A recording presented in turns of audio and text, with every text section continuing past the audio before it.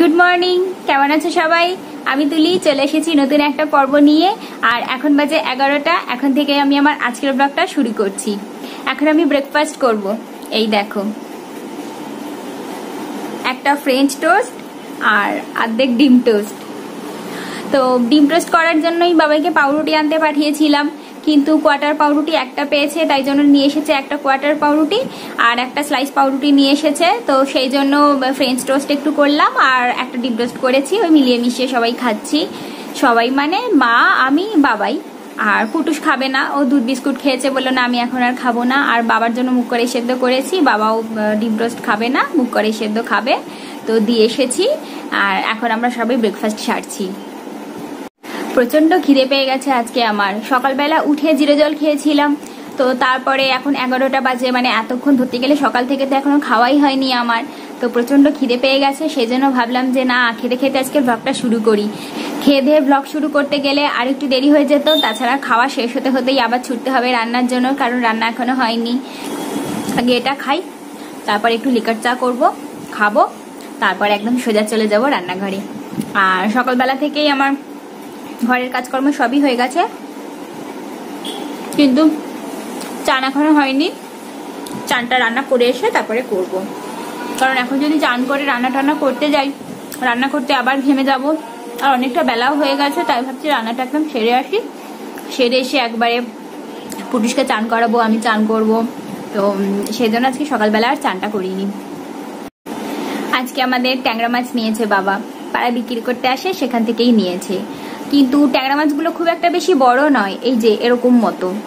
মাথাটাই তো এত বড় চলে যাবে, আর এইটুকু মতো মাছের অংশ থাকবে। তো ওই জন্য বলল যে সেরকম মাছ কিছু পাইনি, সব কাতলা মাছ আসছিল, আর কাতলা মাছ আমরা খুব একটা বেশি খাই না।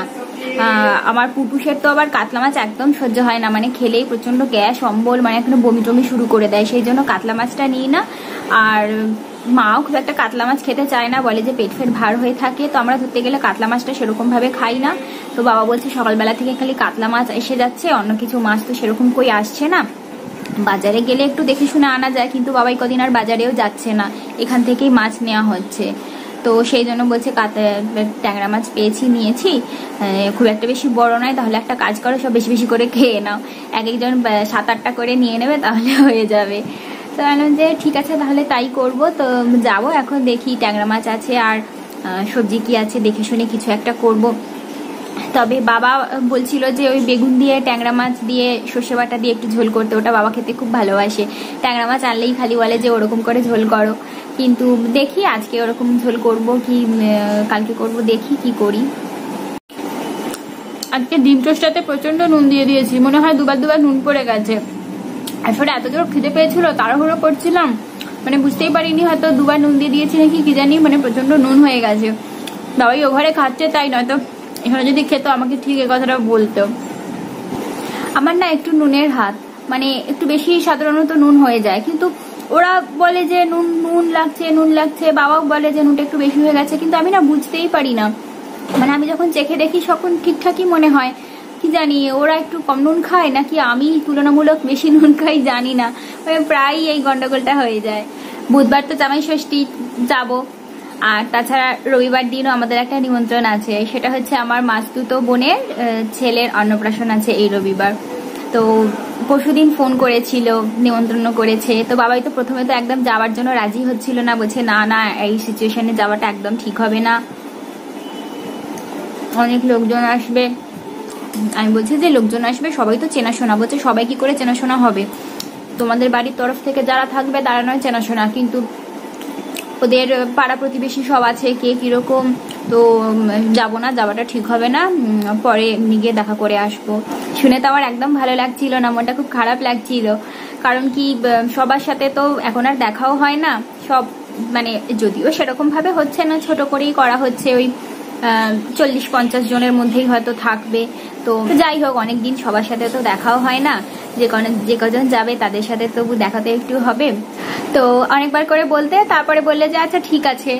তো এখন এটা বেশি চিন্তা হচ্ছে আমার যে আমি কোন দিন কি পরবো। কারণ রবিবার ওদের বাড়ির নিমন্ত্রণ আছে, তখন কি পরবো? মানে কি শাড়ি পরবো? কীরকম কি সাজবো? কি গয়নাগাটি পরবো? আবার তার দুদিন পর আবার জামাই ষষ্ঠী যাব। তখনই সেজে গুজে যাব, তখনই বা কি পরবো? মানে মাথা একদম খারাপ হয়ে যাচ্ছে। কালকে কালকে রাত্রিবেলার দিকে আলমারিটা খুলে দায় দাঁড়িয়ে ভাবছি যে কোন শাড়িটা পরবো, তার সাথে কি গয়না পরবো, কি পরবো কিছুই বুঝতে পারছি না।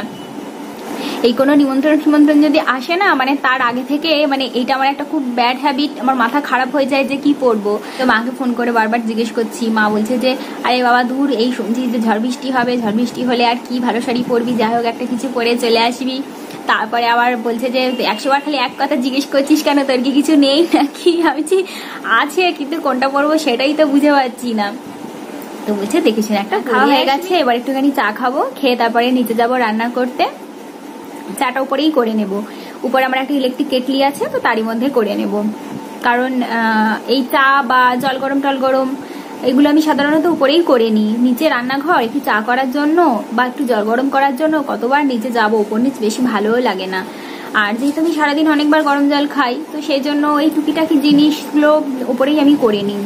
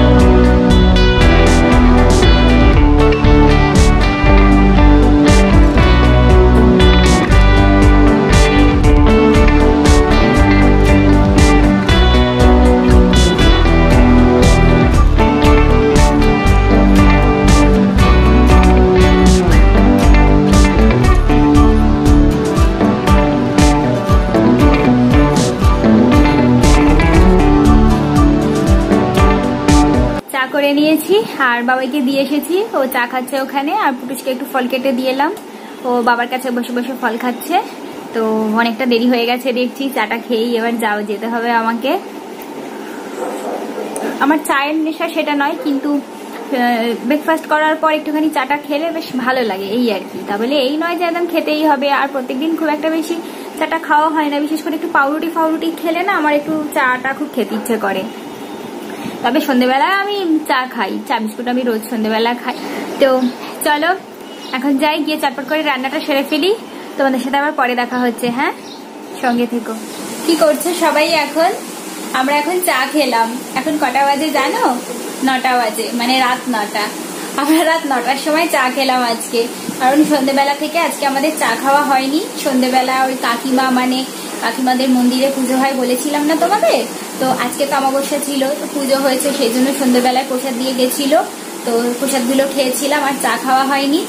আর একটু আগে পুটুসকে পড়িয়ে যখন রান্না করতে যাচ্ছি, তখন বাবাই বলছে যে, আজকে চাটা কিছু করলে না? তখন সাড়ে আটটা বাজে। আমি বললাম যে, চা খাবে এত রাতে? বললে হ্যাঁ একটু চা করো, খাব। তো ওর জন্য চা করতে করতে আমি ভাবলাম যে, তাহলে আমি একটুখানি খাই বলে আমার জন্য করলাম। এই চাটা খাওয়া হয়েছে এখন নটা বাজে। এবার যাব, রাতে রান্না করতে আজকে আমাদের রাতে রান্না হবে তরকা রুটি আর আমি আর পুটুস আজকে চাউ খাব। কাল থেকেই পুটুস চাউ খাওয়ার জন্য বায়না করছে, কিন্তু করে দিইনি। তারপরে আজকেও অনেকবার বলছিল চাউ করলে না চাউ করলে না। আমি যে, ঠিক আছে, তাহলে রাত্রিবেলায় করব। তো ওর জন্য যখন করব, ভাবছি যে আমি একটু খাই, কারণ আমারও অনেক দিন চাউ খাওয়া হয়নি। তো সেই জন্য বাবাইকে জিজ্ঞেস করলাম যে, খাবে কি না? বাবাই বলে যে, না, আমি চাউ খাব না তরকা রুটি খাব। তো ওর জন্য তরকারি রুটি করব। মা বাবা তো ভাত খাবে, আর আমি আর পুতুষ চাউ খাব। আর যেহেতু সকালবেলা থেকে কোনো কিছু কাজকর্ম বা রান্না টানা তোমাদের সাথে শেয়ার করতে পারিনি, তাই জন্য ভাবলাম যে তোমাদের সাথে রাতের রান্নাটা শেয়ার করি। তো চলো শুরু করা যাক।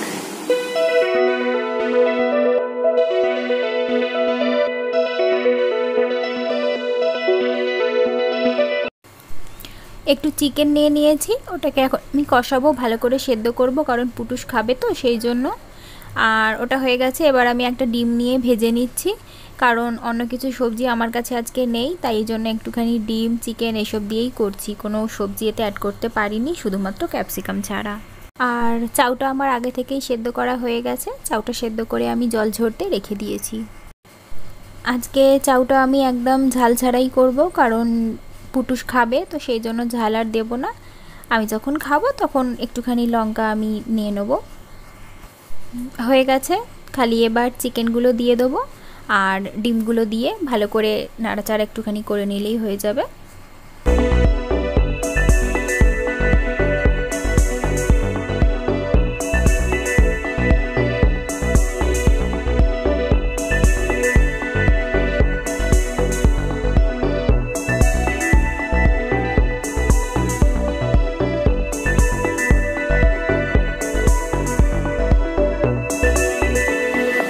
আমাদের খাওয়া দাওয়া হয়ে গেছে। তবে পুটুসের এখনও হয়নি পুটুস খাচ্ছে।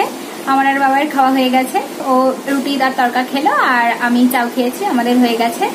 আর এবার রাতের যা যা কাজ আছে সেগুলো সব সেরে ফেলতে হবে। তো আজকের ব্লগটা এই পর্যন্তই। তোমাদের সাথে আমার আবার কালকে দেখা হবে। ততক্ষণ সুস্থ থেকো, সাবধানে থেকো, ভালো থেকো। অবশ্যই আমার সঙ্গে থেকো, ঠিক আছে? টাটা।